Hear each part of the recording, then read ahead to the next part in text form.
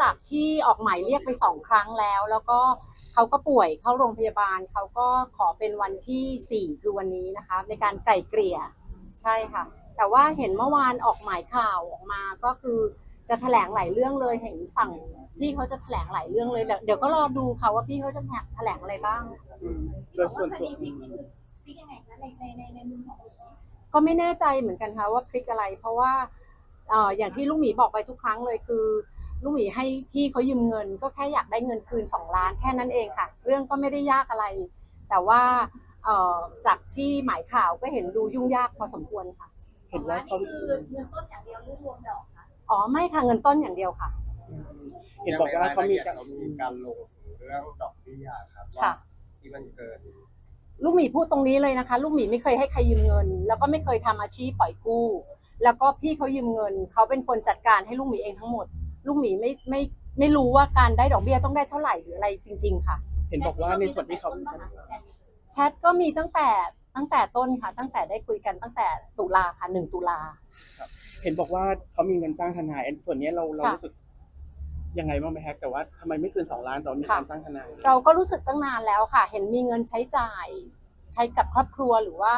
อ่ากินข้าวหรืออะไรต่างๆ ที่ดูดีเนาะที่เราเคยบอกหรือว่าจะไป งานอะไรต่างๆ ลูกเห็นลูกหมีก็เห็นว่าเขาใช้จ่ายได้อย่างสบายใจอะไรอย่างเงี้ย แล้วก็การที่เอาเงินส่วนหนึ่งเนี่ยมาใช้หนี้เราไม่ต้องไปจ้างทนาย ลูกหมีว่าดูมันจะง่ายสักกว่า แต่การที่เขาตัดสินใจแบบนี้ ลูกหมีก็คิดว่าเป็นทัศนคติที่ไม่ค่อยโอเคค่ะอืมตรงนี้เรากังวลไหมคครัรับบก็ไม่ได้กังวลค่ะ เพราะว่า ตั้งแต่แถลงข่าวกับพี่ๆไปก็คือดำเนินดำเนินการ เพราะว่าบอกแล้วว่าเจตนาของลูกหมีคืออยากเป็นอุทาหรณ์ว่าอย่าให้ใครยืมเงิน เพราะการที่เงินออกไปแล้วมันไม่ได้กลับมาณวันนี้ลูกหมีก็ทำสิ่งที่ดีแล้วก็ถูกต้อง เชื่อว่า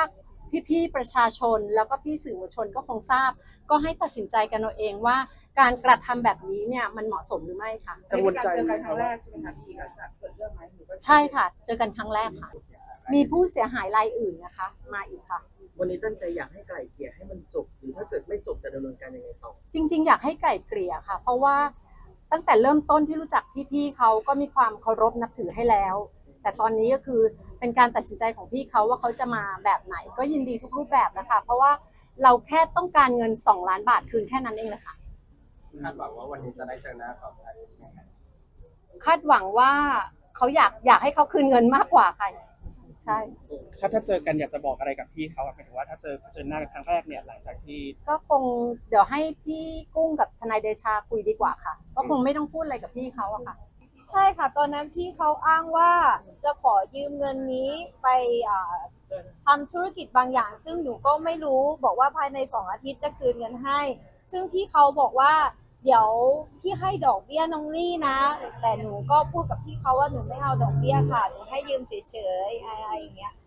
แต่ทุกครั้งที่จะพูดอ่าที่ได้คุยกับพี่เขาเนี่ยส่วนมากจะพูดเรื่องเงินเสมอเลยค่ะ